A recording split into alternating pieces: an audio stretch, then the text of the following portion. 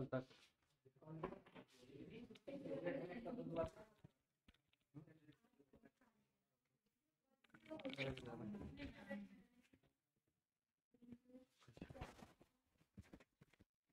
लगा ले अरे ठीक है इसी में करो? चलो भाई। चलो भाई। देखो ध्यान से बाइनोमियल थ्योरम में क्या क्या इंपॉर्टेंट है? बात करते हैं सीधा सीधा टॉपिक पे। ठीक बाइनोमियल थ्योरम में हम लोग क्या क्या पढ़ेंगे? सबसे पहले इसमें हो गई टॉपिक नोट करते रहना साथ साथ पहला टॉपिक होगा इसमें एक्सपेंशन एक्सपेंशन बहुत इंपॉर्टेंट है। ठीक कैसे हम फ़ंक्शन को एक्सपेंड करते हैं? दिस इज़ मोर इम्पोर्टेंट ठीक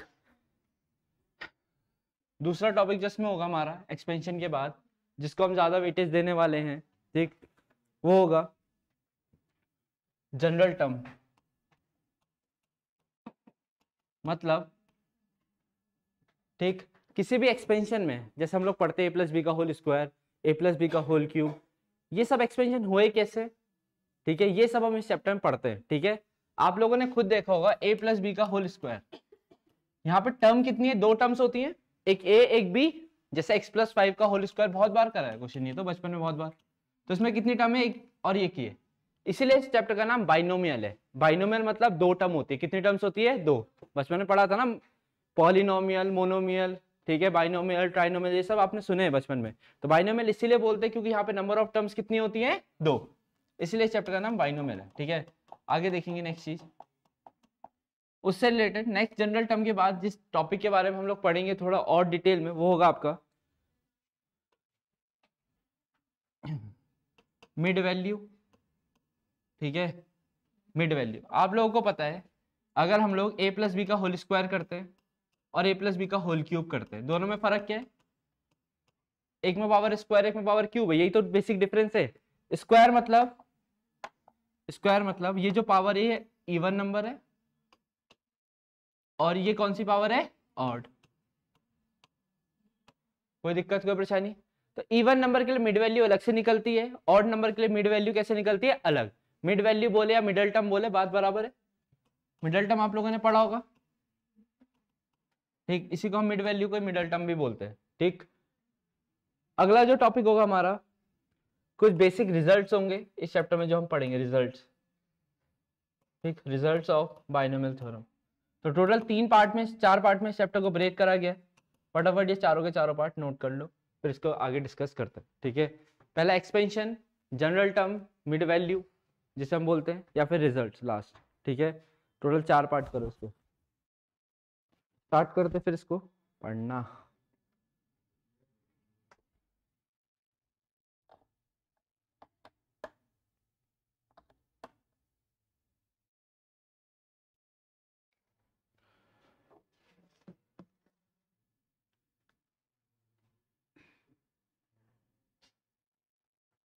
हो गया? देखो जरा आगे।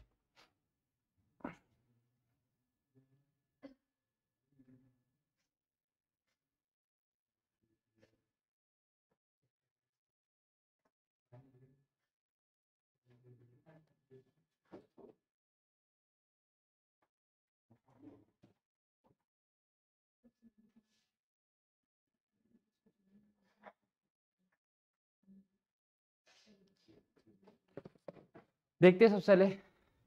बात करते हैं इसके बारे में, वो है। X प्लस ए की पावर n लिखो जरा, इसका फॉर्मूला क्या होता है? X प्लस ए की पावर n, ठीक है?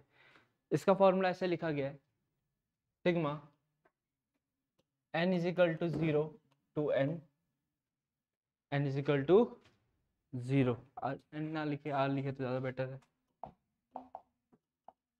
Sigma r equal to zero to N N C R एक सी पढ़ा था आप लोगों ने किस चैप्टर में? कौन चैप्टर पढ़ा था? कॉम्बिनेशन पढ़ा था ना? परम्यूटेशन कॉम्बिनेशन चैप्टर पढ़ा है ना? इसी में होता है। एक्स की पावर एन माइनस आर और ए की पावर आर ये फॉर्मूला है एक्स प्लस ए का एक्सपेंशन का। अभी एक क्वेश्चन करके दिखाएँगे, इससे कैसे एक्सपेंड करते हैं? यूज़ अभी करके दिखाएँगे। पहले लिख लो फॉर्मूला ठीक? सिग्मा का क्या मतलब होता है? आप लोगों ने पढ़ा है समीशन। पढ़ा है? सिग्मा का मतलब समीशन, जोड़ना, है ना? ठीक? आगे देखेंगे सबके सब ध्यान से। जैसे मान लो हमारे पास आया x प्लस ए का होल स्क्वायर जरा कंपेयर करो, खुद कंपेयर करेंगे, n की जगह कितना है? टू ठीक है? सिग्मा करना है मतलब प्लस करना है। पहले r की वैल्यू ज़ीरो रखेंगे, कितनी रखेंगे? ज़ीरो जरा r की वैल्यू ज़ीरो रखो। n की जगह टू है ना? तो two C zero two C zero. X की जगह x है तो एक्स की पावर कितना बनेगा? Two minus zero. Two minus zero. और ए की पावर ज़ीरो। कोई दिक्कत कोई परेशानी? पहली टर्म दूसरी टर्म टू सी वन। क्या बनेगा अब? X की पावर टू माइनस वन और ए की power one. Simple value put कर रहा हूँ और कुछ नहीं। यहाँ पे मैंने इस वाले में एन की जगह टू रखा है आर की जगह ज़ीरो रखा है। यहाँ पे n की जगह टू है अभी भी, r की जगह कितना है? वन अब जो मैं रखूँगा टू सी टू होगा, ठीक है? x की जगह टू माइनस टू और a की जगह टू यहाँ पे n की जगह टू और r की जगह टू है। कोई दिक्कत, कोई परेशानी? खुद लिखा था हमने यहाँ पे, देखो, r कहाँ से कहाँ तक है? ज़ीरो से लेकर n तक। r की वैल्यू ज़ीरो फिर r की वैल्यू वन फिर r की वैल्यू टू इसके आगे तो नहीं बनेगा ना? ठीक है। जरा इसको सॉल्व करते हैं। टू सी ज़ीरो याद करो, एक चीज़ मैंने पहले दिन बताई थी।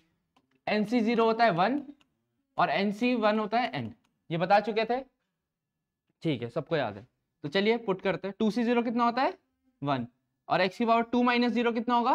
टू तो एक्स स्क्वायर ए की पावर ज़ीरो कितना होगा? वन तो ये एक्स स्क्वायर आएगा या नहीं आएगा? प्लस टू सी वन कितना होता है? एन सी वन एन यानी टू सी वन कितना होगा?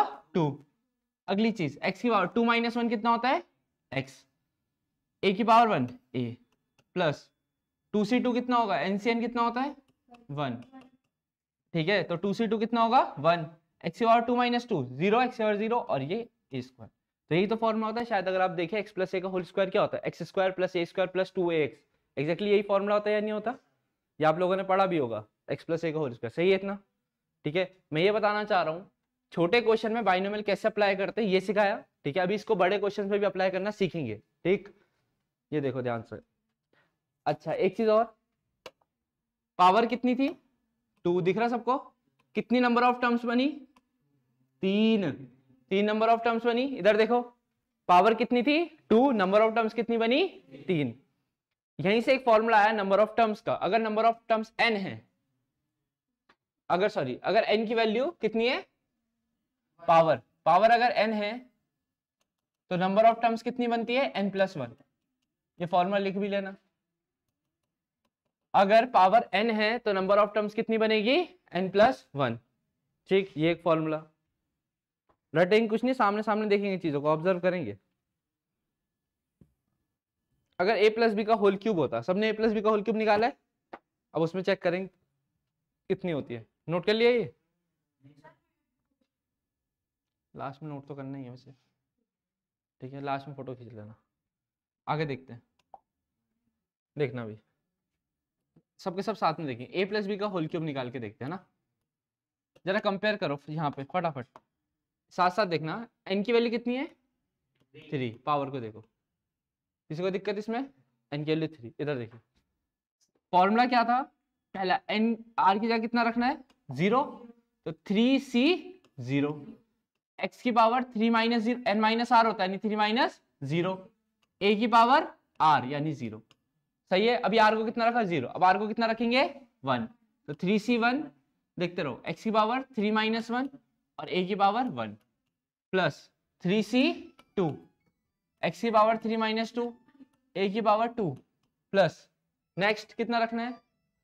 Three C three three C three x की power three minus three a की पावर थ्री चलेगा? हाँ भाई थ्री सी ज़ीरो कितना होता है? वन इंटू एक्स क्यूब चलेगा? और ए की power zero one plus three C one कितना होता है? जरा सॉल्व करना। थ्री सी वन सॉल्व करना सिखाया थ्री सी वन होगा थ्री बहुत बढ़िया। ये कितना आएगा? एक्स स्क्वायर और यहाँ पे ए प्लस इसमें कितना आएगा? थ्री सी टू कितना आएगा? ये भी थ्री आएगा। सॉल्व करना आता है थ्री सी टू आता है। बहुत बढ़िया। जिसको नहीं आता, देख लेना। Plus three C three one और ये आएगा ए क्यूब क्या ये फॉर्मूला सही है या नहीं है? बताओ जरा ध्यान से देखिए है ये फॉर्मूला सही? ये a plus b x sorry a और बी था ना? अच्छा कोई नहीं कोई नहीं, एक काम करते ना। कोई नहीं कोई नहीं, अरे चलता है। हाँ नहीं तो इतने हाँ इसमें टेंशन लेने वाली बात क्या है? चलेगा? बात वही। ठीक है? ए हो बी हो एक्स हो, उससे फ़र्क नहीं पड़ता, ठीक है? ठीक है? नोट करो फॉर्मूला देखो भाई पावर कितनी थी? थ्री। तो नंबर ऑफ़ टर्म्स कितनी बनी? चार। तो ये फॉर्मूला वैलिड है। ठीक है, ये ध्यान रखना। नंबर ऑफ़ टर्म्स हमेशा क्या बनेगी? एक ज़्यादा। ठीक। यह नंबर ऑफ़ टर्म्स का फॉर्मूला ठीक।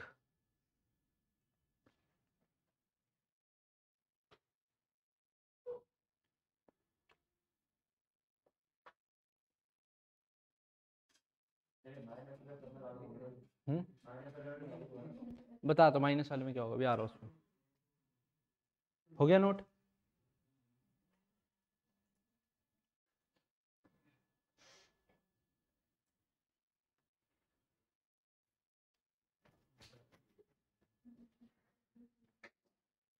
क्वेश्चंस भी करेंगे, सब करेंगे। देखो जरा ध्यान से।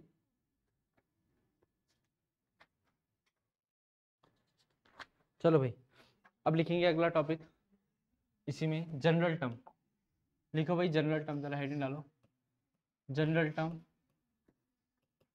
किसी भी बाइनोमियल में जनरल टर्म कैसे निकाली जाती है, इसका फॉर्मूला जैसे एपी में आप लोगों ने जनरल टर्म पढ़ी होगी। पढ़िए a n equal to a plus n minus one d general term का मतलब क्या होता है? कि कोई भी टर्म उस यूज़ उस जनरल टर्म को यूज़ करके हम कोई भी टर्म निकाल सकते हैं तो जनरल टर्म का मतलब है। कि जनरल टर्म का यूज़ करके हम उस एपी की कोई भी टर्म को निकाल सकते थे। जैसे आप लोगों ने पढ़ा है जनरल टर्म एपी में। A plus n minus d पढ़ा है नहीं पढ़ा है? ये फॉर्मूला पढ़ा है? ठीक है?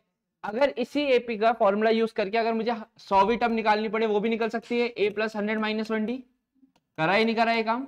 तो जनरल टर्म का मतलब समझो पहले तो ये कि एक ऐसी टर्म जिसका यूज़ करके हम उस सीरीज़ या उस एपी में कुछ भी टर्म को निकाला जा सकता है, उसको जनरल टर्म बोलते हैं। ठीक है? वो हर किसी के लिए वैलिड होती है। तो ऐसी बाइनमल थ्योरम की भी जनरल टर्म होती है, ध्यान देंगे क्या होती है।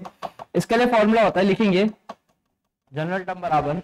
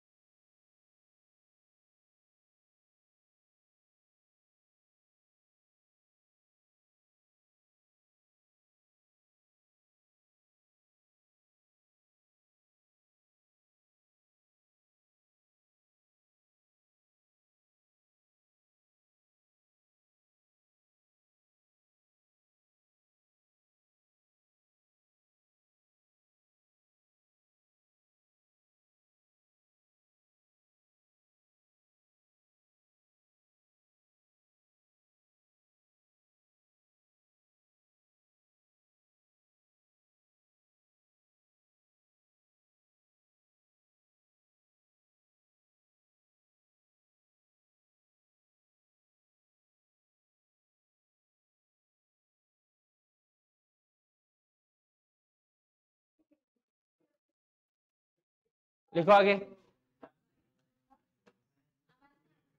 फाइंड द कोफिशिएंट ऑफ़ अब आइए। Find the coefficient expansion of या coefficient of 4 in the expansion of 4 4x upon 5 plus plus 5 upon 2x to the power 8 5 upon 2x to the power 8 बताओ भाई आंसर जरा फटाफट। हाँ। x to the power minus four चाहिए। Same तरीके से करो। x की बार माइनस फोर लाना है इस बार। इस बार एक्स की पावर माइनस फोर लाना है। करिए, जरा फटाफट। एक्स की पावर माइनस फोर बनाना है। एक्स की पावर माइनस फोर आ रही है।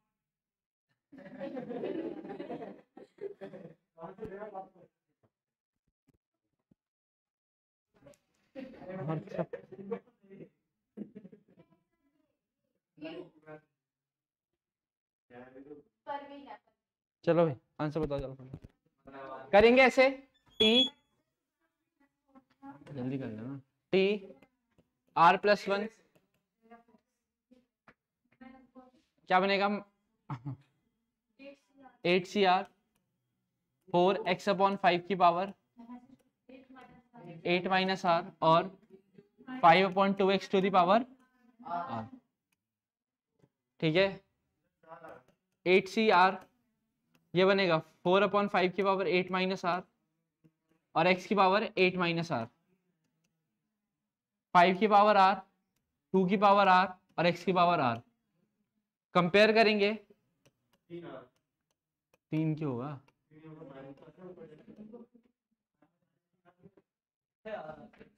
ऊपर जाके एट माइनस टू आर नहीं हो जाएगा एट माइनस आर पहले से एक नीचे माइनस आर माइनस आर दो आर हो जाएगी ना? एट माइनस टू आर किसके बराबर रखना है? माइनस चार के बराबर। एट माइनस टू आर बराबर माइनस चार। आर बराबर छ आठ छह आ गया पुट कर देना आंसर आ जाएगा। हो जाएगा अब ये? ठीक है सिंपल क्वेश्चन था, ऐसा कोई टफ नहीं है कि नहीं कर सकते, है ना? क्यों? मन भर गया। कितना टाइम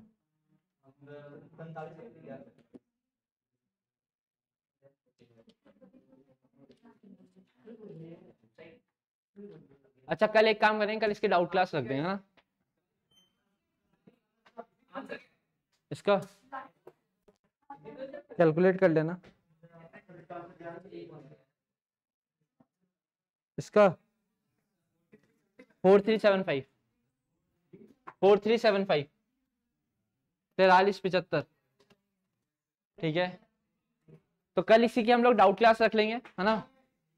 करना क्या है? होमवर्क लिख लो। आर एस अग्रवाल के आर एस अग्रवाल में पेज नंबर 240, 241, 242 और 243 चार पन्नों में है ये चैप्टर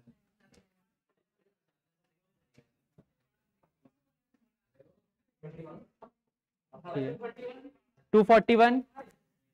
ये पेज नंबर 240, 241, 242 और दो तैतालीस। ये चार पन्नों में पूरा चैप्टर है। इसको ट्राई करके लाना ठीक है? अटेम्प्ट करना। होगा नहीं होगा दूसरी बात है। कल इसके सारे डाउट क्लास सारे क्वेश्चन डिस्कस करूँगा ठीक है? पचास क्वेश्चन है। वो डिस्कस करेंगे ठीक है कल? Bye bye enjoy